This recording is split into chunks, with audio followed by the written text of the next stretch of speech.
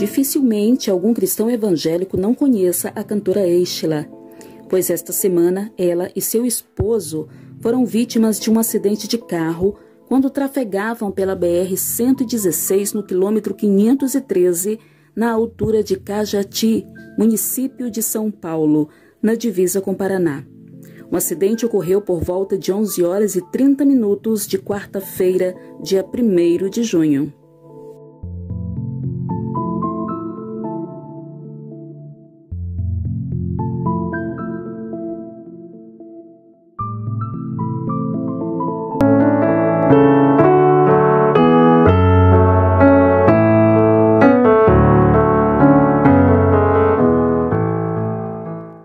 A graça e a paz do Senhor Jesus esteja com você, querido seguidor do canal. Este é o quadro Nota Cristã. Peço a você que deixe o seu like e o seu comentário, se inscreva e ative o sino das notificações para não deixar de ver os próximos vídeos postados aqui. Eu sou a Rúbia Betânia e esses dias fomos surpreendidos com a notícia de um acidente automobilístico onde ia a cantora Eichla e seu esposo, pastor Odilon Santos.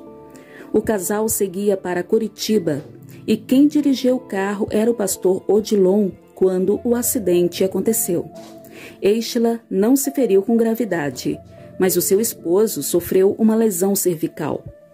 A cantora publicou uma foto do carro parcialmente destruído nas redes sociais e agradeceu a Deus pelo livramento. Estela disse que o marido provavelmente perdeu o controle do carro que capotou por causa de óleo na pista. O carro saiu da pista, bateu em uma pedra, capotou e depois bateu em uma rocha com as rodas para cima. Se não tivesse aquela rocha, teríamos caído no abismo, disse Estela. Conforme a concessionária Arteris Regis Bittencourt, que fez o socorro de Eichla e Odilon, os dois foram encaminhados com ferimentos leves ao pronto-socorro de Cajati. De lá, pastor Odilon foi transferido para o Hospital Universitário Evangélico Mackenzie, em Curitiba.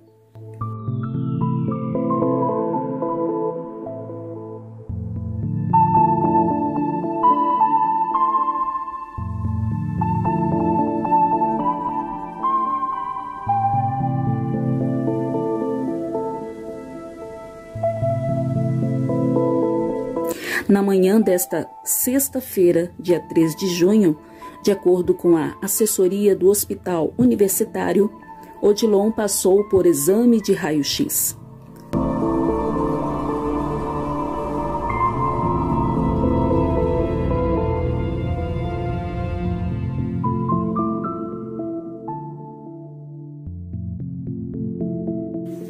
Natural de Fortaleza, além de cantora, Eichla é pastora, escritora e compositora bastante conhecida na música evangélica.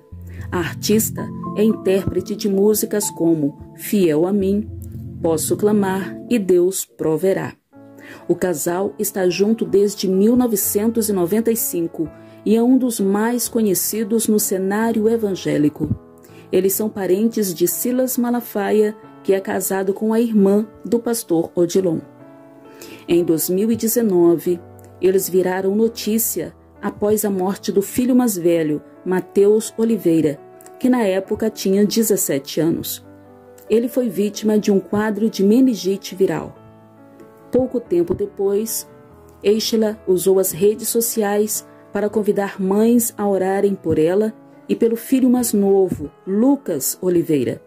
Na ocasião, o rapaz que revelou não ser hétero numa enquete perguntando aos seus seguidores se deveria criar uma conta numa plataforma de conteúdo adulto.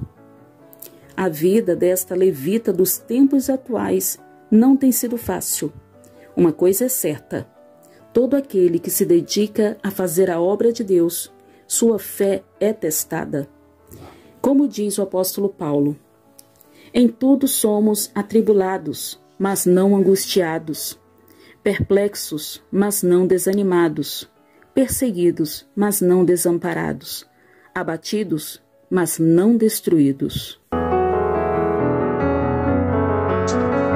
Senhor Deus e Pai Celestial, estamos aqui na tua presença nessa hora, mais uma vez reunidos nesse propósito, Deus, de jejum e oração, em prol das nossas famílias, em prol da nossa nação, em prol de cada causa pessoal que tem sido apresentada a Ti, Deus. Eu quero, junto com meu marido que está aqui ao meu lado no volante, nessa hora, suplicar a Ti pelas Tuas bênçãos. Nós sabemos que não merecemos o Teu amor, não merecemos a Tua misericórdia, mas Tu és um Deus bom e as Tuas misericórdias se renovam a cada manhã. Nós elevamos agora os nossos olhos para Ti, ó Deus nós sabemos que tu estás no lugar alto, elevado, acima das nossas dores, acima das nossas dificuldades, das nossas limitações. Nós repreendemos todo levante de Satanás, que já tem feito de tudo para nos paralisar hoje. E eu sei, Senhor, que assim como ele tem tentado me parar, tentado parar o meu marido, ele tem tentado parar a cada um dos teus filhos, nós queremos repreender o espírito da morte, o espírito da enfermidade, da miséria, Senhor, da derrota. Em nome de Jesus, nós aqui, Senhor, estamos diante de Ti, colocando diante de Ti as nossas necessidades, te agradecendo, Senhor, por tudo aquilo que Tu já fizeste, tudo aquilo que nós não estamos vendo, mas nós sabemos que já está pronto no mundo espiritual. Senhor, tu és o Deus de vitória, tu és o Deus que guerreia as nossas batalhas, tu és o Deus vitorioso, aquele que um dia virá buscar a tua noiva, a tua igreja, e nós moraremos contigo, reinaremos contigo eternamente. Senhor, nos livra do mal, livra a nossa nação.